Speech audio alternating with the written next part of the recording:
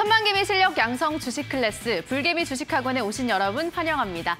저는 여러분들과 함께 일타 강사 쌤들에게 주식을 배워보고 있는 예비 불개미 한유진입니다. 불개미 주식학원이 이제 개강하고 여러 쌤들의 강의가 진행되고 있는데요. 어떻게 여러분들 수업을 잘 따라오고 계신가요?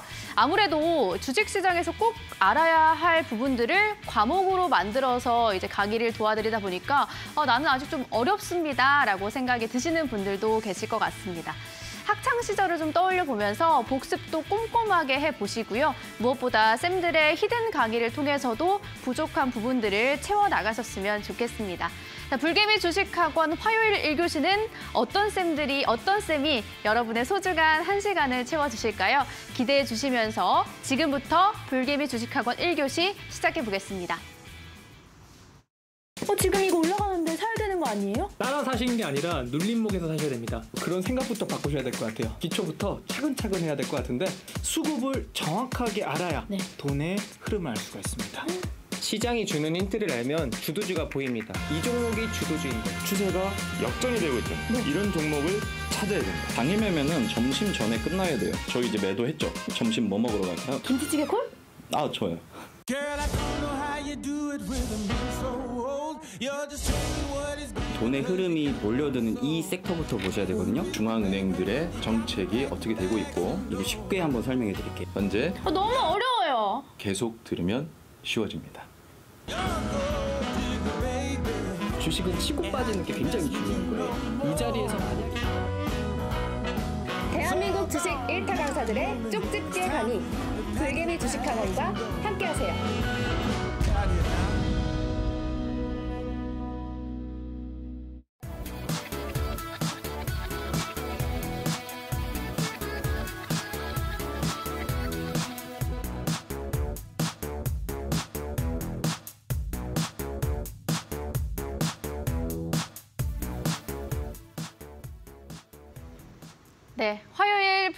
주식학원 1교시는 주식에 미친 남자 주미남 쌤과 함께 하도록 하겠습니다. 미남 쌤 어서 오시죠.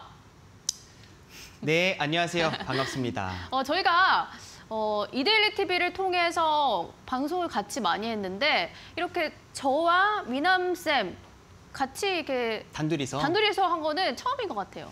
어, 그쵸? 네, 항상 이제 다른 전문가님들이 계셨었는데 네. 어, 오늘 같은 경우에서는 그리고 앞으로도 아마 이제 좀 단둘이 하지 않을까 좀 생각을 하는데 음, 좋습니다. 네, 좋습니다. 아니 그 어제도 그렇고 늘 항상 미남 쌤은 준비를 굉장히 많이 해오시잖아요.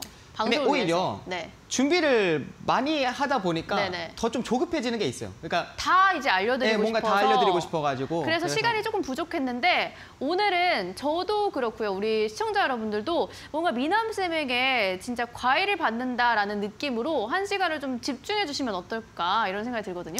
맞습니다. 그리고 오늘 같은 경우에서는 제가 이제 좀 고민을 많이 했습니다. 무엇을 이제 고민을 했냐? 네.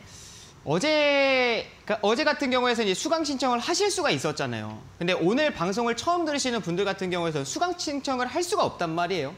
그래서 이제 시가 뭐 어, 자리가 나면은 물론 이제 고맙겠지만 자리가 안 나고 계속 이제 이 60명이 계속 채워져 있는 상태이다라고 하면 수강 신청을 하실 수가 없습니다. 그래서 오늘 제가 이제 이 강의를 통해서는 앞부분에서 이제 산업에 대해서 이야기를 해드리고 나서 그러니까 이 시장의 힌트라는 과목을 통해서 우리 시청자분들과 이제 또 강의를 해드리면서 소통을 하고 있는데 결국에 이제 시장의 힌트라는 게 제가 오늘 무엇을 말씀해드리는 거 이 어떤 산업을 얘기를 해드리는 거 물론 그것도 중요하지만 결국 이제 이 시장 속에서 우리가 이 수많은 정보 가운데에서 무엇이 핵심 정보이고 그 핵심 정보를 통해서 우리가 이 관심 종목까지 또 어떻게 또 유추해낼 수 있는지 그런 거를 배워가는 시간이라고 생각하시면 좋을 것 같아요. 근데 제가 매번 딱 거기까지만 설명을 해드렸죠. 이렇게 우리가 이 산업을 전반적으로 이렇게 좀 큰 그림으로 보면 좋습니다라는 걸 설명을 해드리는데 항상 이제 뭐 종목에 대해서 핵심 종목에 대해서는 이제 히든 강의를 통해서 말씀을 드렸었어요. 근데 오늘 방송을 좀 처음 들으시는 분들이나 어제 수강 신청을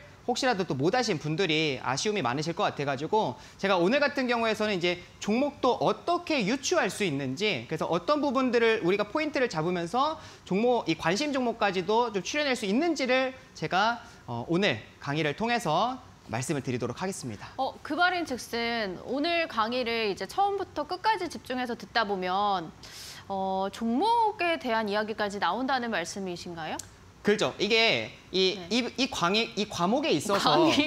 이 과목에 있어서 이제 어떻게 보면 그 순서 자체가 네. 결국에 우리가 이제 시장의 힌트라는 게 네. 시장에서 주는 힌트를 통해서 음. 어, 수많은 힌트들이 있지만 거기서 이제 어떤 게 핵심 힌트가 되는지 네. 그리고 그 핵심 힌트에서 이제 결국에 또 관심 종목까지도 어떻게 우리가 좀 추려낼 수가 있는지 네, 그게 어떻게 궁금한 보면 거죠. 핵심 포인트이잖아요. 네, 그쵸. 근데 어, 제가 지금까지는 항상 어, 핵심 정보들은 핵심 힌트들은 이런 것들입니다라는 걸 설명을 해드렸다라고 하면은 오늘 처음부터 끝까지 집중하신다라고 하면 아 관심 종목은 이렇게 우리가 또 추려볼 수가 있겠구나라는 그런 포인트들까지도 좀 확인하실 수 배워가실 수 있지 않을까라는 네. 말씀을 드리겠습니다. 근데 또 시간이 만약 부족해서 거기까지 못 가는 건 아니겠죠? 혹시라도 못 간다라고 하면은 제가 중간에 끊더라도 어, 종목 네. 관련해가지고 좀 이제 포인트를 잡아드릴게요. 아, 네. 그 어쨌든 좀 진도를 빨리빨리 해서 오늘은 여러분들이 어, 그동안에 뭔가 산업에 대한 이야기에서 시간이 부족해서 끝났다면 오늘 종목까지 쭉 이어서 어떤 식으로 미남쌤이 시장에 대한 힌트를 캐치해서 주도주까지 찾아내는지 그 강의를 저희가 오늘 집중해서 한번 들어보도록 하겠습니다. 자, 그럼 본격적으로 시- 이제 부지런히 달려가 봐야 되기 때문에 오늘은 어떤 힌트에 주목하셨을지 강의를 통해서 한번 들어보도록 하겠습니다. 시작해 주시죠. 자, 시작하도록 하겠습니다. 아, 네. 아니, 저를 비춰주지가 않아가지고 기다리고 있었는데. 자, 지금 보시게 되면 이제 주식, 불개미 주식학원. 오늘 화요일 1교시 시작하도록 하겠습니다. 바로 시작을 할게 시간이 그렇게 많지가 않기 때문에 자 오늘은 제가 이 사진을 좀 준비를 해왔어요. 이게 또 시작부터 막 뉴스 보여드리고 여기 막 뭐 설명해드리면은 다들 좀 진부하다 생각하실 수가 있으니까 어 제가 오늘은 네 오늘은 이제 이 두 분의 대통령이시죠. 이제 각국의 정상 네. 혹시 아시죠? 아, 그럼요. 네, 이걸 혹시 모르시는 분들은 없으실 겁니다. 설마 네. 이거 어제 제가 일론 머스크 사진을 보여드렸을 때 막 어, 외국인 이렇게 말씀하시는 분들도 계셨는데 네, 이런 분들 외국인이라고 절대 말씀하시면 안 되고 미국의 바이든 대통령이죠. 그리고 이제 오른쪽 같은 경우에서는 네. 어, 윤석열, 우리나라 대한민국의 이제 우- 윤석열 대통령이십니다. 그래서 지금 현재 보시게 되면 뭔가 얘기를 하고 있는 것 같아요. 대화를 네. 하고 있는 것 같은데 네네. 무슨 대화를 하고 있는지는 당연히 저희는 모르겠죠. 모르죠. 본인들만 알수 없죠. 아실 겁니다. 네. 예, 뭔가 대화를 하고 있어요. 근데 우리가 최근에 시장에서 이 힌트를 주더라고요. 어떤 이야기를? 무슨 이야기를 하고 있는지 힌트를 주더라고요. 그래서 어. 그 힌트를 이제 보게 되면은 이러한 내용이 나왔습니다. 최근입니다. 지금 이제 기사 내용 자체가 10월 5일 날에 이제 나온 내용인데 지금 이제 바이든 대통령이 윤석열 대통령에게 친서를 보냈다라고 합니다. 그 친서에서 무슨 내용이 있냐? IRA 우려 우리가 잘 알고 있다. 어, 바이든 대통령이 어, 우리가 어, 대한민국 지금 한국에서 IRA 관련해 가지고 지금 많이 걱정하고 있지 잘 알고 있어. 우리가 솔직하게 좀 협의를 진행을 해보자라는 내용이 나왔어요. 그러면은 지금 현재 뭔가 대화를 하고 계시는데 그 대화가 어느 정도 요 IRA 관련된 내용이 될 수도 있겠다라는 걸 우리가 좀 어, 유추해 볼 수 있을 것 같습니다. 이것도 어느 하나의 좀 힌트라고 보실 수 있을 것 같은데 이 IRA 무엇을 우려를 하고 있냐라는 걸 보면은 제가 이전에 이것을 어, 지난주에 제가 이거를 이제 보여드렸었습니다. 어, 결국에는 인플레이션 감축법 자체가 이건 알겠어요. 어, 미국에서 이번에 역대급 규모입니다. 480조 원 정도의 역대급 규모를 투자를 해서 전기차에 이제 세액 공제 혜택을 주겠다. 네. 어, 요거는 이제 어, 정의인데 결국에는 이 두 가지가 중요했잖아요. 이 두 가지 모두 다, 그러니까 둘 중에 하나만 충족하면 안 되고 둘 다 충족해야만 이 혜택을 받을 수가 있단 말이에요. 그러니까 이 미국의 시장을 전기차 시장을 이제 어느 정도 선점하기 위해서는 결국에는 이 세액공제 혜택을 받아야 됩니다. 전기차가 가격이 좀 나가잖아요. 비싸단 말이에요. 네. 근데 이 세액공제 혜택 우리나라 돈으로 7,500달러 정도면 약 1,000만 원 정도에 해당이 돼요. 음. 그럼 1,000만 원 정도의 세액공제 혜택을 최대 받을 수가 있는데 그렇게 되면 좀 더 저렴하게 전기차를 이용할 수 있겠죠. 근데 그렇게 받지 못하는 기업이다라고 하면 당연히 거기에 대한 판매량은 저조해질 수밖에 없겠고 그럼 상대적으로 좀 경쟁력이 낮아질 수가 있다라는 것을 확인할 수 있어요. 그래서 이 두 가지에 어떻게 보면 충족돼야 하는 이 사항을 꼭 완수해야 된단 말이에요. 그래서 지금 보셨을 때 결국에는 중요한 게 미국에서입니다. 미국에서 전기차를 생산해야 되고 그다음에 미국에서 배터리도 생산이 돼야 되고 배터리에 들어가는 그런 핵심 광물들 같은 경우에서도 결국에는 이제 미국산을 대부분 다 사용해야 된다라는 것을 알 수 있어요. 이게 IRA 법안입니다. 어, 쉽게 설명을 해드린 좀 간단하게 정리를 해드린 내용인데 결국에는 이 IRA 우려라는 거는 이게 어, 우리나라 이제 전기차 관련된 업체들이 무엇이 있을까요? 어, 완성차 업체들도 있을 것이고 그다음에 배터리 만드는 업체들도 있겠죠. 물론 배터리 업체들 같은 경우는 당장 상관이 없어요. 지금 보시게 되면은 100%도 아니에요. 보셨을 때에 어, 지금 이제 내년부터 이제 법안이 시행이 된다 하더라도 당장에 이 80%를 맞춰라가 아니에요. 2027년까지 80% 맞추고 가라는 겁니다. 네. 내년부터는 시행이 된다 하더라도 40% 정도, 어, 50% 정도만 맞추면 된단 말이에요. 그러니까 당장에는 이제 어떻게 보면은 크게 부담은 없을 수 있다, 상대적으로. 근데 어디가 부담이 되냐? 결국에는 완성차 업체들이요. 미국에서 전기차 생산 못하면 이 혜택 못 받는데 그러게요. 그죠?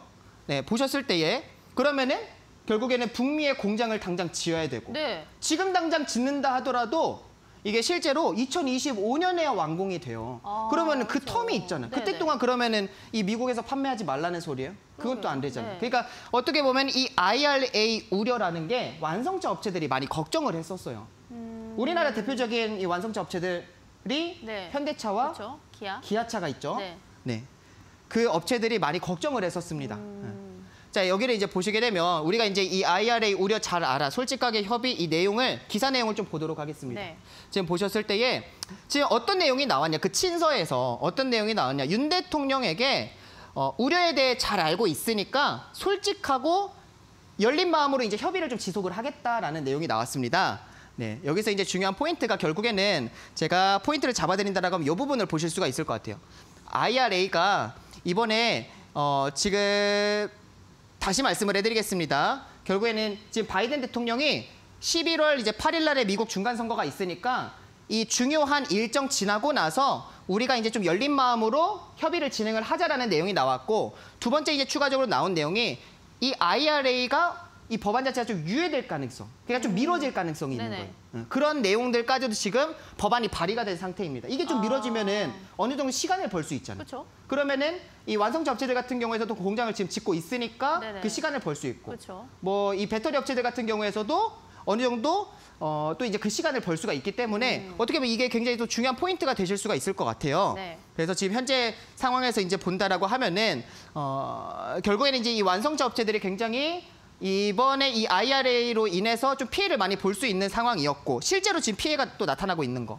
네, 미국 전기차 판매량이 전월 대비했을 때 지금 13% 정도가 현대기아차가 줄어들었다라는 걸 확인할 수 있어요. 그러니까 실제로 지금 어떻게 보면은 이 따른 피해가 이 법안에 따른 이제 피해가 조금씩 조금씩 가시화되고 있다라는 것을 우리가 알 수 있을 것 같습니다. 너무 이제 좀 제가 달려가는 것 같은데 근데 유해 가능성이 있는데 왜 피해가 나타나고 있나요?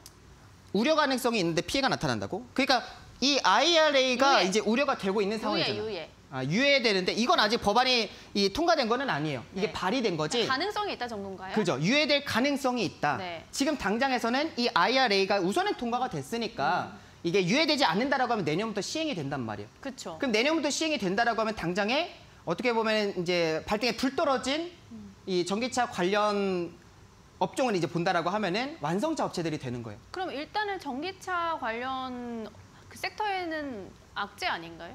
악, 전기차 관련된 섹터에는 악재라고 볼 수는 없죠. 어. 전기차 관련된 종목들에서 네. 결국 이게 기회가 될 수 있는 거예요. 그러니까 이거를 어떻게 하면 이 IRA 법안 자체에서 수혜를 받을 수 있을까를 이제 고민을 해봐야 되는 거죠. 수혜. 네, 수혜를 받을 수 있을까? 그러니까 네. 이것만 잘 선점한다라고 하면은 미국에서 더 점유율을 높일 수가 있게 되는 거고 판매량이 아, 증가하게 되니까. 오히려 더 이용을 하게 되면 그러니까 이 두 가지에 이제 충족, 이 두 가지를 충족시킨다라고 하면은 그만큼 어떻게 보면 이제 기회가 될 수 있는 거예요. 근데 당장에 피해를 볼 수 있는 거는 음. 네네. 배터리 쪽보다는 완성차 업체 쪽들이었죠. 완성차 업체 왜냐면은 쪽에는, 네. 미국에서 전기차를 생산해야 되는데 당장에 그쵸. 공장이 없는데 어떻게 생산을 해? 네네. 그러다 보니까 아, 당장에 지금 이제 어렵고 힘든 이 현대와 이제 기아차가 좀 손꼽혔었습니다. 실제로 미국의 테슬라나 GM 같은 경우는 호재죠. 어떻게 보면은 음, 그렇죠. 거기서는 만드니까 네네. 만들어서 판매하면 되는 거니까. 근데 당장에 이제 해- 어떻게 보면 악재가 될 수 있는 업체들 같은 우리 국내에서는 현대와 기아가 기아. 네, 가장 손꼽혔었습니다. 그래서 악재 반영이 되면서 어느 정도 좀 주가가 밀리는 그런 모습들도 좀 나타났었고 음. 네네. 예, 그러한 상황들이었어요. 그러다 보니까 지금 가시화가 되고 있는 것도 확인할 수 있어요. 13% 정도가 지금 판매량이 줄어들고 있는데 네네. 이게 참 아이러니한 거는 오히려 지금 현대기아차 같은 경우에서는 올해 3분기 지금 역대 최고 실적이 찍히나라는 내용들까지도 나와주고 어, 왜 있습니다. 그런 거죠? 굉장히 아이러니하죠. 네. 그 내용을 좀 살펴보게 되니까 이번에 그러니까 이 내수 시장에 대한 국내에서 판매를 그만큼 잘하는 거예요. 어. 전기차도 많이 팔렸죠. 네. SUV 차량들도 많이 팔렸죠. 제네시스 같은 경우도 많이 팔렸어요. 그러니까 음. 고가의 차량 중심으로 판매가 진행이 되다 보니까 이번에 어, 3분기 역대 실적 기대가 되는 상황. 어, 차들을 굉장히 많이 사시나 봐요. 그죠. 많이 판매가 됐었던. 네. 그러니까 원래는 이 완성차 그 자동차들이 상반기에 좀 이제 많이 팔리고 그때 네. 이제 신제품들이 많이 나오니까 그쵸. 하반기에는 이제 오히려 판매량이 좀 저조하단 말이에요. 그러니까 비수기예요. 음. 그럼에도 불구하고 3분기도 역대 최고 실적 치킨하라는 내용들이 나와주고 있어요. 오. 음. 그러면은 지금 우리가 여기서 이제 생각을 해본다라고 하면 계속 IRA 관련해 가지고 이제 여기에 피해를 받을 가능성이 있으니까 이게 뭐 어, 우리 이만큼 뭐 실적 잘 나오고 있어 이런 얘기들을 하고 있는데 이걸 조금만 저는 다르게 생각을 해본다라고 하면 네. 그러면은 IRA 관련해 가지고 이거를 악재로만 생각을 하는 게 아니라 어떻게 좀 빠르게 이거를 이제 어, 대책을 세워 가지고 미국의 이제 판매량을 더 증가시킨다라고 하면은 지금도 역대 실적이 나오고 있는데 더 실적이 좋아지지 않을까요? 네. 그럼 어떻게 그거를 극복할 수 있을까요? 그죠? 네, 그런 것들을 이제 차차차 좀 말씀을 드리도록. 어, 하겠습니다. 네. 네. 지금 보시게 되면 여기까지만 좀 정리를 해보도록 할게요. 아, 너무 네, 좀 어려울 수 있으니까. 어, 우리가 여기서 이제 정리를 해본다라고 하면 은 현재 바이든 대통령이 우리 윤석열 대통령에게 친서를 보냈다. 네. 근데 그 친서의 내용이 결국에는 이번에 이 IRA 법안 관련해가지고 이제 우리 완성차 업체들이 우려가 좀 되니까 어, 걱정할 수 있으니까 그거는 이 중간 선거 이후에 11월 8일에 이제 진행되는 중간 선거 이후에 어, 우리 좀 협의하자. 음. 어, 그좀 기다려라. 이제 이런 예- 내용들이 나왔고요. 그리고 미국에서 이번에 또 추가적으로 나왔던 내용이 IRA 유예 법안이 지금 발의가 된 상태. 음. 이게 통과되진 않았지만 발의가 된 상태. 만약에 통과된다라고 하면은 요게 또 이제 수혜가 어, 호재가 될 수 있다라는 것을 네. 좀 말씀드릴 수 있을 것 같고 두 번째 같은 경우에서는 미, 지금 현재 현대기아차 같은 경우에서는 국내에서는 정- 자동차를 많이 잘 판매를 하고 있어요. 그래서 실적이 좋다라는 것을 확인했죠. 역대 실적이 지금 막 찍히나 그런 기대감들이 있잖아요. 그럼 여기서 결국에는 이제 미국에서 전기차를 이제 잘 판매를 하고 침투율을 이제 높인다라고 하면은 그만큼 더 좋은 수익성이 이제 개선이 될 수 있겠구나라는 것도 확인할 수가 있고. 그렇죠. 그럼 결국 이제 여기서 이제 중요한 포인트가 지금 현대차 같은 경우에서도 전기차를 어떻게 하면 미국에서 이제 많이 판매를 할까? 네. 응. 이 판매량을 계속 유지하거나 계속 늘려갈 수가 있을까라는 걸 고민하고 있고 미국의 이 IRA 법안이라는 것 자체에서도 결국에는 전기차 어, 신차를 이제 그러니까 미국에서 판매되는 그런 신차에 대해서 세액 공제 해 주겠다는 거, 혜택을 주겠다는 거잖아요. 네. 그러니까 결국에는 전기차 판매량을 계속 증가시키려고 하는 모습들이 나와주고 있단 말이에요. 네. 그럼 전기차 판매량이 계속 증가가 된다라는 거는 결국에는 이 교체 수기, 교체 시기가 다가오기 때문에 폐배터리도 증가할 수밖에 없다라는 거. 그거는 뭐 당연한 수순인 거죠. 당연한 수순이죠. 네. 우리가 전기차 판매량이 얼마나 증가가 되는가라는 걸 보게 되면 결국에는 어, 전기차든 뭐 하이브리드든 결국 전기 자동차이니까 전기 자동차의 이제 판매량 전망을 봤을 때에 지금 현재 어, 2025년 얼마 남지 않았죠. 지금 이제 22년 말이니까 이제 한 2년 정도가 남았다라고 볼 수가 있는데 지금 1,200만 대 정도가 팔릴 것이다라는 내용들이 나와주고 있습니다. 어마어마합니다. 지금 보통 뭐 중국의 이제 비아디나 아니면 미국의 이제 테슬라 같은 경우에서도 이 한 해에 이제 누적 판매량을 이제 목표로 잡는 게 보통 한 100만 대 정도가 돼요. 근데 1200만 대면은 어마어마하다라는 거. 1년에 1200만 대가 이제 판매가 된다라는 거는 어마어마하다라는 거를 파- 확인할 수가 있죠. 그만큼 판매량이 증가하게 될 경우에는 이제 폐배터리도 증가한다. 네. 폐배터리에서는 어, 우리 시청자분들과 유진 앵커님, 유진 학생이요. 어, 유진 학생, 유진 학생분, 네. 너무 저 혼자만 떠들었으니까 어, 저도 좀 이제 쉴 이 좀 타이밍을 자 폐배터리 관련해 가지고는 어, 두 가지가 있어요. 어, 두 가지 지금 보셨을 때에 재사용과 재활용이 있는데 네. 어, 찍어도 좋습니다. 어느 시장이 더 크실 것 같아요? 더 클 것 같아요. 그시 재활용 폐배터리. 재사용과 폐배터리 재활용 시장이 있어요. 재활용이요. 재활용 네. 네. 우리 시청자분들은 또 어떻게 생각하실지 네, 이 뭐 채팅창에다가 좀 올려주시면 이제 네. 좋을 것 같은데 어, 유진 앵커 같은 경우에서는 유진 학생 같은 경우에서는 재활용 시장이 이제 더 클 것 같다라고 예상을 하고 있는데 맞습니다. 왜 재활용 이제 시장이 더 크냐라는 거를 이제 좀 간단하게 설명을 해드릴게요. 자 보시게 되면은 재사용 같은 경우에서는 결국에는 이제 이 배터리를 만들 때 각자 그 필요에 맞게끔 만든단 말이에요. 뭔가 이제 각자의 그 크기와 이제 그 필요에 맞게끔 뭐 각형 배터리든 아니면 파우치형 배터리든 원통형 배터리든 간에 각자 필요에 맞게끔 만들어요. 그럼 이제 그 필요에 맞게끔 만들었으면은 그거를 아무리 이 에너지 저장 장치인 ESS에다가 재사용을 한다 하더라도 이게 굉장히 그 불편함이 있단 말이에요. 그래서 재사용 같은 경우에서는 어느 정도 좀 어, 불편함을 그 만들어져 있는 배터리를 이제 재사용해야 되기 때문에 어느 정도 좀 불편함이 있다. 근데 재활용 같은 경우에서는 지금 이 IRA 관련해 가지고 네, 중국에 대한 의존도를 이제 낮출 수 있는 방법으로 이제 볼 수 있는 어떻게 보면 해결책으로 이제 볼 수 있는 네, 핵심 광물들이 뭐 니켈이나 망간이나 리튬과 같은 경우들을 이제 추출을 해 가지고 이거를 재 어, 활용하는 거기 때문에 이 배터리 업체들에다가 이제 다시 줘가지고 그거를 다시 이제 전기차 업체에다 줘가지고 판매를 하는 거기 때문에 이쪽 시장이 훨씬 더 커요 재사용보다는 그래서 이제 재활용 시장을 어 제가 좀 강조해서 이제 말씀을 해드리는 것 같고 지금 여기 사진이 하나 나와 있어요 어, 사진이 하나 나와 있는데 지금 이 사진이 뭔지 아세요? 자, 여기 이제 사진이 하나 나와 있는데 지금 여기 하나 보이세요? 네. 자, 이렇게 지금 하나 사진이 나와 있어요. 배터리인가요? 어 맞습니다.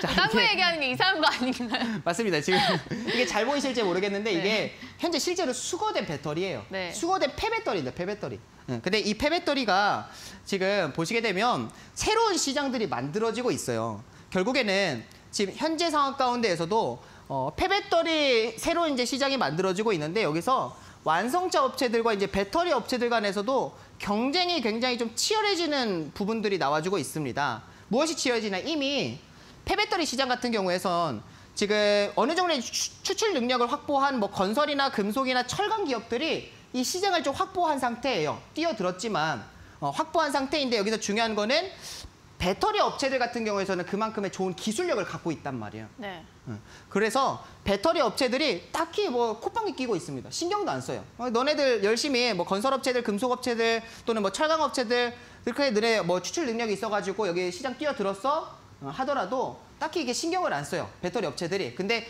완성차 업체들 같은 경우에서는 이 폐배터리 시장을 완성차 업체들이 뛰어든다라고 하니까 배터리 업체들이 굉장히 좀 이제 신경 쓰고 있는 분위기입니다. 좀 이제 어. 경계를 하고 있는 거죠. 네, 아무래도 좀 규모가 크다 보니까 그런 건가요? 규모도 규모고 네. 어느 정도 좀 좋은 이 고지를 점할 수가 있어요 완성차 업체들이. 아, 그러니까 어, 아 이게 참 질문을 좀 많이 드려야 되는데 지금 결국에는 이 배터리라는 것 자체가 배터리라는 것 자체가 이 배터리 업체에서 이제 완성차 업체에게 배터리를 판매했잖아요. 어, 판매를 했으면 결국 이 소유권이 예, 소유권이 완성차 업체에게 간단 말이에요. 그 완성차 업체들이 이 전기차를 이제 판매를 했어요 소비자한테. 그러면 이 배터리의 소유권 자체가 소비자한테 갑니다. 네, 어. 그러니까 제가 전기차를 샀으면 이 배터리 소유권 저한테 있는 거예요. 그렇죠. 어, 그럼 제가 이제 배터리를 바꾸고 싶어. 네, 그렇게 되면은 이 폐배 그러니까 배터리를 바꾼다라는 건 이제 그 사용한 거는 폐배터리가 되는 거잖아. 네, 그럼 이 폐배터리를 어, 배터리 업체들도 갖고 싶고 네, 완성차 업체들도 갖고 싶고. 네, 왜냐면 그 폐배터리가 돈이 되니까. 네, 어, 갖고 싶단 말이에요. 네. 소유권은 소비자한테 있어요. 나한테 있죠. 그죠? 네. 나한테 있죠. 근데 여기서 완성차 업체가 좀 더 유리합니다. 뭐가요? 완성차 업체가 왜냐면 배터리를 어 완성차 업체들이 전기차를 이제 판매를 할 때에 예를 들면은 네. 어 너네 그거 폐배터리 나한테 주면 내가 좀 할인해 줄게. 어 그렇죠 보상 판매 정책을 할 수가 있는 거예요 아. 좀 할인해 줄게 약간 대신 핸드폰 그 폐배터리 나한테 줘 핸드폰 살 때 약간 그런 거 있잖아요. 그렇죠 핸드폰 살 때도 그 실제로 이제 내가 쓰는 그 중고폰 네, 주면은 네. 좀 할인해 주잖아요. DC해 주잖아요 그러니까 그런 것처럼 아. 어느 정도 좀 유리한 고지를 점하고 있다 그쵸, 보니까 그쵸. 래서 완성차 업체들이 유리한 고지에 있다 보니까 이 배터리 업체들이 음. 이 긴장을 하는 거예요. 아 이것저것 시장 내 건데 오. 폐배터리 수거하는 시장 내 건데 음. 아 이거 완성차 업체들에게 좀 뺏길 수도 있을 텐데 음. 있겠는데라는 이제 어느 정도 어, 좀 분위기가 네, 좀. 이제 긴장되는 모습들이 나와주고 있습니다. 그러다 보니까 중요한 포인트가 결국엔 이 기사에 있어서는 어, 경쟁 구도가 좀 만들어지고 있다라는 거를 좀 우리가 확인할 수 있을 것 같아요. 네. 경쟁이 진행이 되고 있다라는 거. 배터리 업계에서 이제 경쟁이 그렇죠. 시작됐다. 폐배터리를 수거하는 분야에서도 지금 경쟁이 진행이 되고 오, 있는 거예요. 네네. 폐배터리 수거뿐만 아니라 이쪽에서 시장이 굉장히 커요. 지금 보시게 되면 좀 천천히 해도 되겠네요. 시, 시간이. 자, 보시게 되면은 지금 폐배터리가 나왔잖아요. 이거를 분명히 수거하려는 업체들도 있을 것이고 그다음에 이 폐배터리를 이제 수거한 업체들이 갖다 준 분쇄하는 업체들에게 갖다 주면 이제 이거를 이제 이 검정색 파우더로 이렇게 막 잘게 이렇게 분쇄시키는 네. 부시는 그런 분쇄 업체들도 있을 것이고 네, 네. 그다음에 이거를 이제 어 잘게 이제 부숴서 이 black powder를 재활용하는 업체들에게 그러니까 추출하는 업체들에게 보낼 수 있잖아요. 그러면 이제 추출하는 업체들도 있을 것이고. 그죠? 그다음에 이 유가금속 그러니까 니켈, 코발트, 망간, 리튬과 같은 이런 우리는 이 핵심 광물들을 이제 추출하는 게 중요한데 이거를 할 수 있는 기술력을 갖고 있는 이 공법을 추출할 수 있는 공법을 가- 그 기술력을 갖고 있는 업체들도 있을 거란 말이에요. 그러니까 다양한 분야에서 어떻게 보면 좀 수혜를 받을 수 있는 상황이에요. 네. 우리는 지금 좀 전에 완성차 업체들과 이런 전기차, 이 배터리 업체들 간의 경쟁 구도가 만들어지는 거는 요 수거하는 분야였어요. 네. 내가 더 많이 수거해야 배터리 업체들 같은 경우에는 수거를 많이 하면 할수록 결국에 이제 그거에 대해서 핵심 광물들 추출을 해가지고 그걸 내가 다시 재사용하면 되는 거니까 내 배터리 만들 때 이제 다시 넣어서 어, 만들면 되는 거니까 이 배터리 업체들 같은 경우에서는 이제 그런 이점이 있다라고 하면 완성차 업체들 같은 경우는 왜 굳이 뛰어드냐 돈이 되니까 뛰어드는 거죠. 음, 시장이 굉장히 크니까. 근데 지금 현재 이제 보셨을 때 이렇게 다양한 분야들에서 어떻게 보면은 시장이 만들어지고 있다라는 거를 우리가 확인할 수 있을 것 같습니다. 음, 여기서 어, 중요한 게 그럼 결국에는 우리가 이 부분이 이제 좀 중요할 것 같아요. 보통 이 산업의 한 산업의 그 사이클에 있어서 어, 어제 저희가 배운 그죠? 거잖아요. 배운 건데 어, 복습한다 생각하시면 좋을 것 같고 그다음에 폐배터리 재활용 산업은 어디에 속해 있는지 해당이 되는지를 네. 어, 중요하게 보시면 좋을 것 같아요. 그러게요. 그렇죠. 어제 네. 제가 이제 기억을 하기로는 어, 어느 분야에서 뭐 투자를 해야 될까요? 이렇게 질문을 하셨을 때에 네. 그 학생과 우리 유전 학생 같은 경우에서는 이제 성장기에 뭐 투자를 해야 돼요 이렇게 말씀을 네. 하셨던 걸로 제가 기억을 하거든요. 맞아요. 혹시 오늘도 변함이 없으십니까? 아, 수- 수- 투자를 한다면 어디에 그러니까 해야 이 될지? 산업 사이클에 있어서 네. 도입기, 그러니까 이 산업이 만들어지는 개화되는 이제 그 개화기가 있고, 그 다음에 이제 성장 본격적으로 좀 이제 성장 구도에 들어가는 그 사이클이 그 다음에 이제 세 번째는 이제 성숙기 어느 정도 이제 어느 이 성숙기에 이제 접어들고 나서 그 다음에 네 번째 이제 쇠퇴기에 접어드는 이제 구간들 이 네 가지 사이클로 우리가 볼 수 있는데 이 중에서 우리가 실제로 뭔가 trading 관점이 아니라 네. 어, trading 관점이 아니라 투자 관점으로 좀 진득하게 어, 매수를 좀 매집을 해볼 수 있는 구간에 해당하는 산업의 이제 구간에 해당하는 건 어디일까라는 거를 아. 시청자분들과 그 다음에 네. 우리 어, 학생에게 유진 학생에게 질문을 드려보면 매집 아니 계속 물량을 모아간다. 네, 모아 라고 하니까 뭔가 도입기에 위치하에 있는 거- 그쪽에 투자를 해야 되지 않을까? 참 아이러니하네요. 이게 아이러니하세요? 어제는 성장기라 해놓고 오늘은 도입기라 하고 그러면 네. 폐배터리 재활용은 어디에 속해 있을까요? 폐배터리요? 폐배터리 재활용 폐배터리는 뭔가 도입기. 도입기 네. 어... 는 아니고 성장기일 것 같습니다. 성장기 네. 어...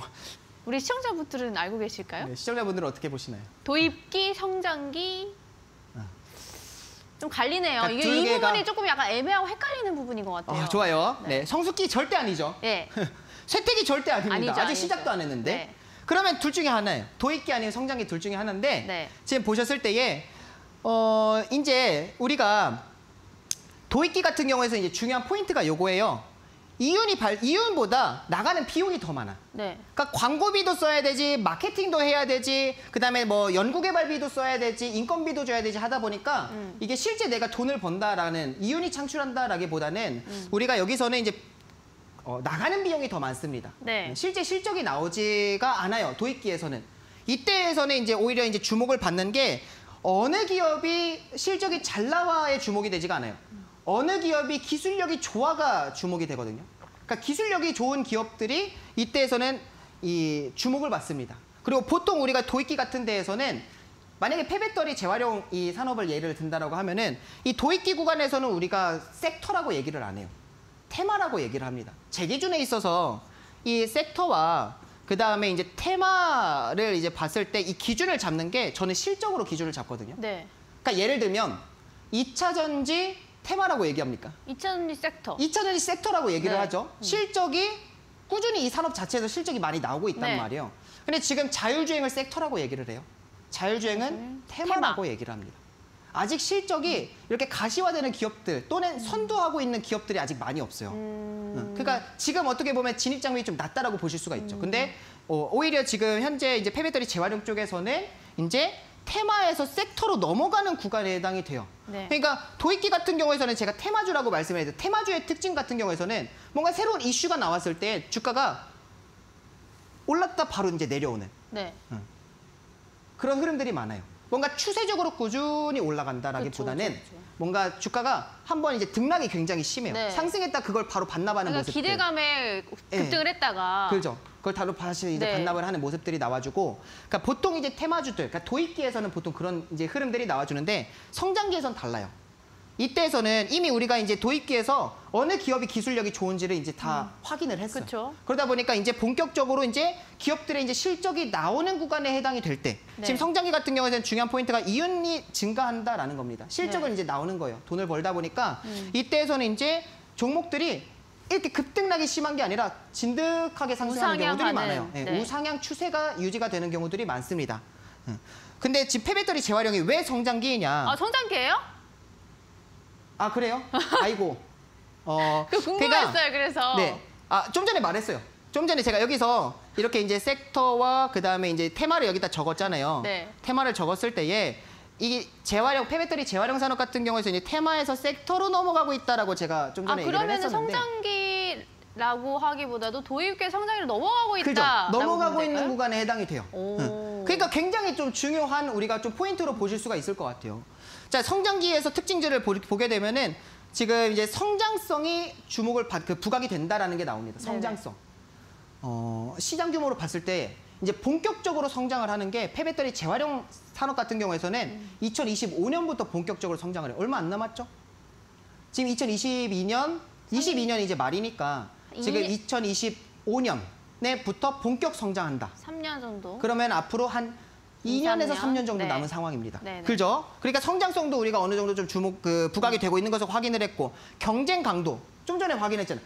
그 수거하는 분야, 그 자그마한 분야에서도 지금 완성차 업체들과 배터리 업체들이 경쟁 구도가 만들어지고 있어요. 돈이 되니까. 그렇죠. 돈이 되니까. 네. 경쟁 구도가 만들어지고 있는 것도 확인할 수 있고 실제 이윤이 조금씩 증가하는 기업들이 나와주고 있죠. 예를 네네. 들면 성일하이텍이나 어, 네. 그죠. 대표적인 이제 기업이 최근에 상장했었던 이제 기업이 성일하이텍이니까 네. 대부분 다 아시는 기업이니까 성일하이텍 같은 경우에서도 이윤이 나오고 있어요. 음. 그러니까 지금 성장기 관련된 이제 특징들이 현재 폐배터리 재활용 쪽에서 나와주고 있다. 그러니까 지금 상황 가운데서는 폐배터리 재활용이 어떻게 보면 투자하기 굉장히 좋은 시점이다라는 오, 거를 그러네요. 말씀을 드릴 수가 네. 있을 것 같아요. 네, 여기 부분은 이제 좀 이해가 되셨을 거라고 생각을 하겠습니다. 어, 지금 이제 보셨을 때에 어, 폐배터리 쪽들로 이렇게 이제 배터리 업체들, 우리 국내 대표적인 셀 업체들, LG 에너지 솔루션, 네. SK, 그다음에 삼성 SDI 이런 업체들이 지금 폐배터리 재활용 산업 쪽으로 열심히 투자하고 있는 것을 확인할 수 있습니다. 응. 중요하지만 시간이 없기 때문에 네, 간단하게 LG 에너지 솔루션은 이렇게 이러한 뭐 리사이클 지분을 이제 확보를 했고 GM과 합작 법인을 설립을 해가지고 폐배터리 이제 재활용 산업에 지금 설비를 투자를 하고 있고 뭐 SK 같은 경우에서는 이제 SK 에코플랜트 자회사를 통해서 이렇게 어 지금 폐배터리 재활용 사업에 뛰어들고 있다라는 거. 삼성 SDI 같은 경우는 성일하이텍을 통해서 뭐 폐배터리 재활용 이런 순환 체계를 지금 갖춰가고 있다라는 거 뭐 이렇게 좀 간단하게 말씀을 드릴 수 있- 있을 것 같아요. 중요한 포인트는 결국에는 우리 국내 배터리 업체들이 이 폐배터리 재활용 사업에 적극 공략하고 있다라는 것을 이 기사를 통해서는 이제 확인을 해야 됩니다. 굉장히 좀 이제 중요한 포인트가 될 것 같고요. 자, 근데 이제 제가 어, 이전에 이제 말씀을 해드렸을 때 중요한 포인트로 잡아드렸던 게 하나가 어, 결국에는 이제 이 원자, 중국의 이제 원자재 의존도를 이제 낮추는 게 어떻게 보면 이제 숙제라고 말씀을 해드렸죠. 이거를 이 포인, 이 숙제를 하는 데 있어서, 그러니까 원자재에 대한 이제 어, 의존도를 낮추는 데에 있어서 핵심 key point로 이제 볼 수 있는 게 어떻게 보면 키 역할을 하는 게 폐배터리 재활용 산업이다라고 말씀을 해드렸고, 어, 자, 지금 이제 시장 규모로 봤을 때예요. 갑자기 자, 좋습니다. 시장 규모를 이제 보셨을 때. 자, 이게 제가 이제 좀 전에 말씀드렸던 성장기의 특징이 나타나는, 그러니까 성장성이 주목을 그 부각이 되는 부분들인 거죠. 결국에 지금 2023년이면 이제 내년인데, 내년 정도만 해도 아직까지는 7천억 정도밖에 해당이 되지가 않아요. 시장 규모가. 근데 지금 보시게 되면 2025년부터 본격적으로 조 단위로 넘어갑니다. 네네. 네, 3조 2030년 전에는 한 12조 정도가 예상이 되고 그다음에 40년에는 이제 한 87조 그다음에 50년 정도가 되면 이제 600조 정도가 현재 어, 나타난다라는 거를 확인하실 수가 있을 것 같아요. 근데 여기서 이제 중요한 게 결국에는 어, 급성장하는 이제 구간이 2025년에서 30년 정도. 네. 여기 구간부터 이제 본격적으로 성장한다라는 거를 말씀을 드렸죠. 그러면 여기서 이제 중요한 게 네. 성장이 이제 주목을 받고 있는 이 시점부터 우리가 좀 투자 관점으로 진행을 해볼 수가 있다는 거. 꾸준히 어, 좀 매집이라고 해야 될까요? 물량을 계속, 늘려가는. 네, 물량을 좀 이제 확보를 해 가야 되는 어떻게 보면은 구간이다라는 거를 음. 말씀을 드릴 수 있을 것 같습니다. 여기서 제가 하나 질문을 좀 하도록 할게요. 네. 우리 시청자분들 시청자분들도 한번 맞춰보시면 좋을 것 같습니다. 다양한 분야가 있다라고 했어요. 지금 이제 어, 배터리 재활용 이제 흐름도입니다. 흐름도 사진을 봤을 때 지금 결국에는 이 폐배터리를 이제 수거하는 업체들도 있을 것이다. 그리고 분쇄하는 업체들도 있을 것이고 그 다음에 이 분쇄한 거를 이제 이 재활용하는 업체들에서 이제 추출을 하는 음, 추출을 하는 업체들도 있을 것이고 그 다음에 이렇게 어, 유가 금속들 니켈이나 코발트나 망간이나 뭐 리튬과 같은 이런 유가 금속들을 이제 추출하는 그 공법 기술력을 갖고 있는 업체들도 있을 거란 말이에요. 다양한 업체들이 있어요. 수, 수거하는 업체들 그 다음에 이제 뭐 분쇄하는 업체들 다양한 이제 뭐 업체들이 있는데 어, 어느 분야가 가장 시장에서는 주목을 받을까요? 질문인가요? 네, 너무 아. 어렵나? 어, 어느 분야가 네. 좀 어렵나요? 우리 시청자분들 좀 어렵나? 힌트를 좀 드리 힌트라기보다는 이제 네. 좀 팁을 드리면은 네네. 어, 기술 그 이 기술력 추출인가요? 어, 그러니까 아니 입에 툭 튀어나와 버렸네요. 힌트를 주신 거네. 어, 그러니까 힌트를 정답을 네. 알려드려 네. 버렸네요. 추출하는 부분이 좀 시장이 큰 편이다. 그러니까 왜냐면 결국에는 이 자, 좋습니다. 이 네. 폐배터리 재활용하기 위해서는 결국에 이 폐배터리에서 추출하는 게 기술력이 되는 거예요. 네. 그 기술력이 좋으면 좋을- 좋을수록 네. 그만큼 경쟁력이 더 강하게 되는 거고. 아. 응. 수거하는 업체들, 그러니까 어, 막말로 네. 응, 제가 1톤 트럭 가지고 네. 폐배터리 수거를 할 수도 있겠죠. 그러니까 쉽게 말하면 네, 수거를 할 수, 저도 수거할 수 있을 것이고 네, 네. 예를 들면 그 다음에 아, 이제 생각해 보니까 그렇죠. 그러네요. 뭐 분쇄하는 업체들 같은 경우에서도 이거 그냥 잘게 부시기만 빡 부시기만 네, 네, 된단 네. 말이에요. 이렇게 네. 검정색 파우더를 이렇게 막 부시면 검정색 파우더로 나와요. 아. 이거를 이렇게 잘게 부시기만 하면 된단 말이에요. 그러니까 네, 네. 큰 기술력이 필요하지가 않아요. 그러니까 어떻게 보면 시장 이 진입 장벽 자체가 수거 같은 경우든 뭐 분쇄하는 업체들 같은 경우에서도 그렇게 크지가 않아. 그리고 이미 완성차 업체들이나 아니 배터리를 만드는 이런 셀 업체들 같은 경우에서는 이미 완 이 뭐 현대 기아차 같은 경우 완성차 쪽으로 이미 시장에서는 점, 그 점령하고 있고 그다음에 네네. 뭐 LG 에너지 솔루션, SK 온이나 뭐 삼성 SDI나 이미 다 있잖아요. 어, 그러니까 이런 상황 가운데서는 결국에는 우리가 재활용 쪽에서 주목을 해볼 수 있는 거는 여기 기술력하고 이제 추출하는 어, 이런 기술력을 갖고 있는 업체들을 우리가 주목을 해볼 수가 있을 것 같아요. 네. 네. 어렵지 않았죠? 네, 쉬었어요. 네, 좋습니다. 네. 마지막으로 정리 한 번만 할게요. 네, 정리, 정리를 굉장히 좋아하시는 미남 쌤. 정리 한 번 하고 나서 네. 그 다음에 이제 종목에 대해서도 우리가 좀그 뭐야 좋아요. 네, 종목까지도 좀 유추하는 방법을 우리가 확인을 해야 되니까 네. 자 보시게 되면 이제 정리를 해볼게요. 정리를 해보셨을 때에 지금 결국에는 이제 국내의 배터리 업체들과 완성차 업체들 이제 모두가 다 폐배터리 시장에 지금 진입하고 있다라는 것을 우리는 네. 이제 확인할 수 있을 것 같고 그다음에 지금 두 번째 같은 경우에서는 폐배터리가 지금 어, 도입기에서 이제는 성장기로 진입하는 구간이다라는 거를 우리가 좀 확인할 수 있을 것 같고요. 그다음에 세 번째 같은 경우는 성장기에 있어서는 가장 중요한 게 경쟁력이 그만큼 이제 강해야 되는데 이 경쟁력이 강하기 위해서는 그만큼 기술력이 좋아야 됩니다. 네, 기술력이 좋아야 된다라는 거. 그래서 이렇게 우리가 좀 세 가지 포인트를 좀 잡고 어, 정리를 해보면서 이 세 가지 포인트를 잡고 종목을 좀 이제 어, 좀 유추해 보시면 네. 관심 종목으로 좀 넘어가시면 좋을 것 같아요. 그러니까 어. 여기서 이제 포인트가 결국에는 어느 분야에서 어느 기업이 경쟁력이 있냐. 어, 음, 경쟁력이 있고 어, 기술력을 이제 확보하고 있냐라는 게 중요합니다. 그래서 그거에 저는 이제 초점을 맞춰서 폐배터리 재활용 쪽에서 이제 관심 종목을 어, 관심 종목이라고 하긴 좀 아무튼 그럴 것 같지만 이 관련된 종목에서 제가 이 기술력, 경쟁력이 있는 기업이 어떤 기업인지를 네. 말씀을 드리도록 할게요. 그러니까 네네. 이런 것들을 보시면서 우리 시청자분들 같은 경우에서도 아 저런 기업들이 저런 기술력과 저런 어, 경쟁력을 갖고 있기 때문에 그만큼 어, 앞으로 좀 주목을 받을 수가 있겠구나 이제 그런 걸 좀 연결하시면 음. 좋을 것 같습니다. 네, 어, 이제 그동안 주민남 쌤이 불개, 불개미 주식학원 1교시에서 늘 항상 시간이 부족해 하신 게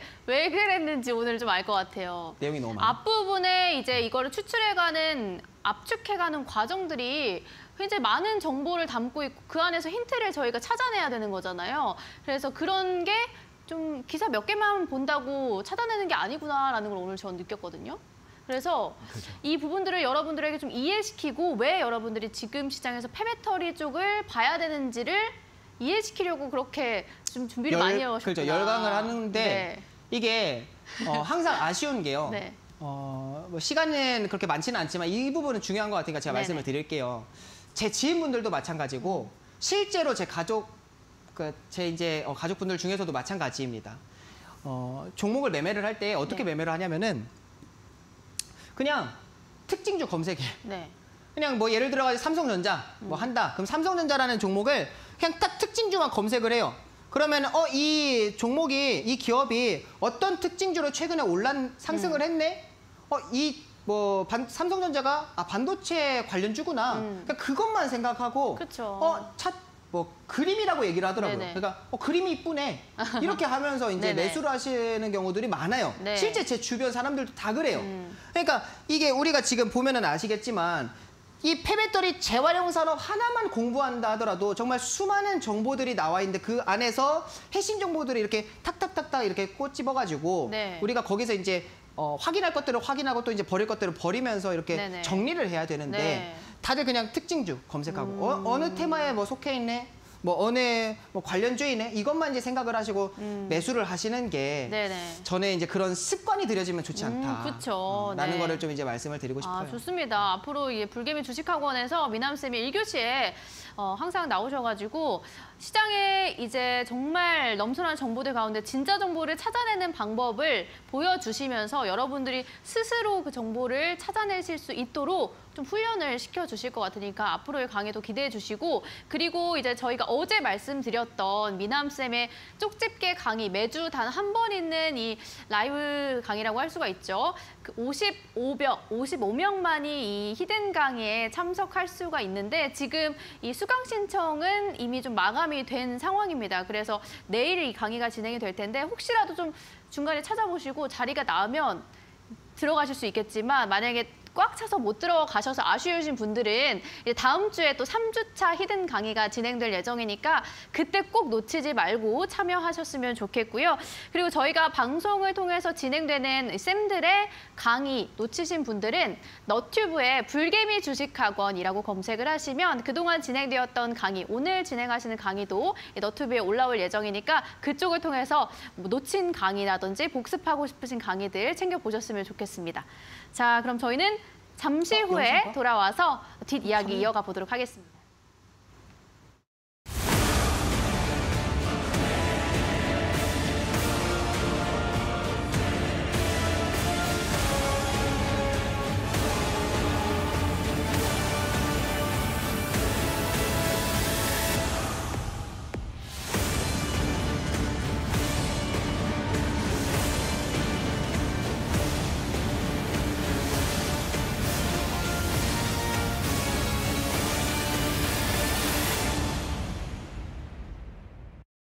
네, 자 그러면 주민남 쌤에게 마이크를 넘겨서 뒷 이야기를 한번 들어보도록 하겠습니다. 이제 종목 이야기를 해봐야죠.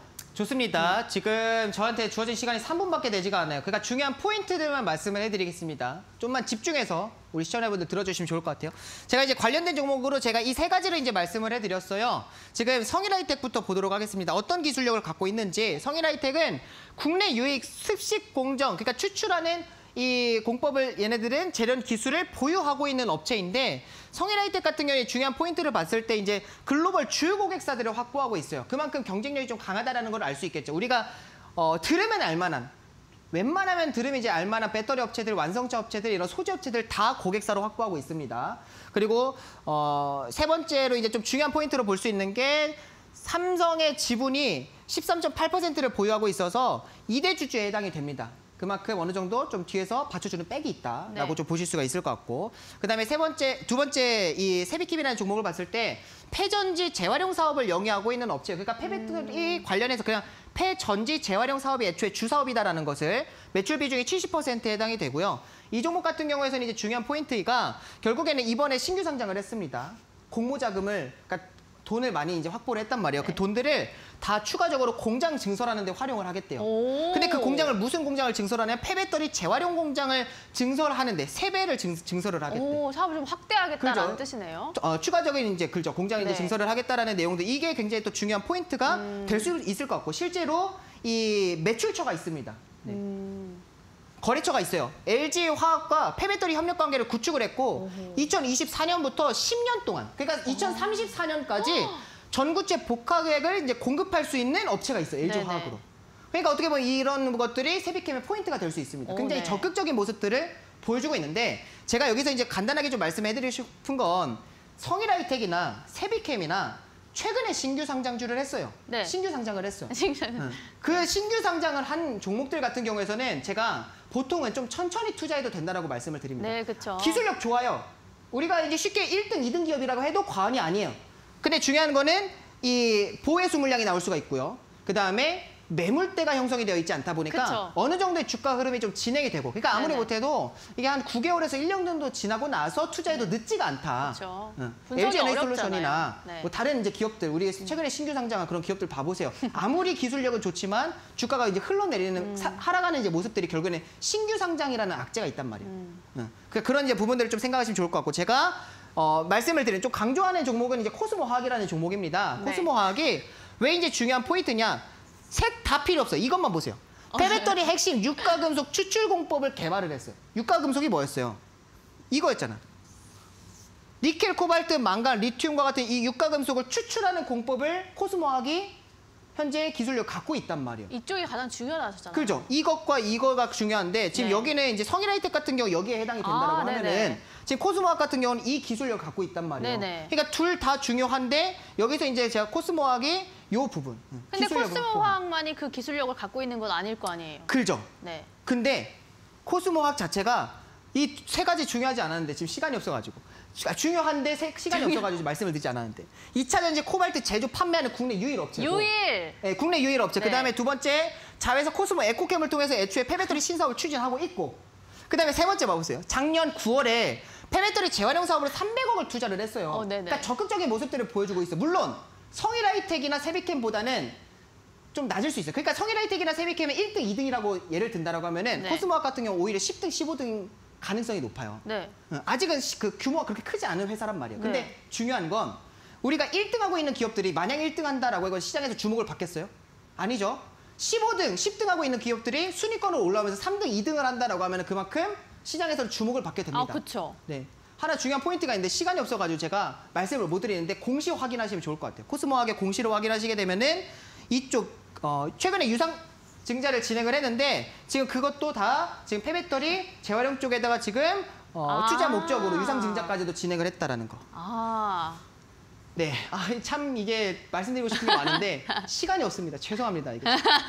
괜찮습니다. 저희가 오늘만 날인가요? 그리고 또 내일 어, 이제 또 여러분들이 기다리고 계시는 미남쌤의 이제 단 라이브죠. 그 라이브 강의, 히든 강의가 두시간 동안 진행될 예정이니까 오늘 방송에서 못하신 이야기 그쪽에서 또 풀어주셨으면 좋겠고 어, 그걸 수강 신청 실패하신 분들은 다음 주에 또 미남쌤의 강의가 이어지니까 다음 주에도 또 많이 기다려주셨으면 좋겠습니다. 항상 미남쌤은 시간이 부족하시네요. 늘 많이 준비해 오셔서 그런 것 같습니다. 어, 그래도 아쉽지만 저희 불개미 주식학원 1교시는 여기서 마무리 짓도록 하겠고요. 잠시 10분간 휴식한 후에 2교시에는 범쌤이 또 강의를 준비하셨으니까 2교시에도 참석해 주셨으면 좋겠습니다. 자, 불개미 주식학원 1교시 함께해 주신 여러분 고맙습니다.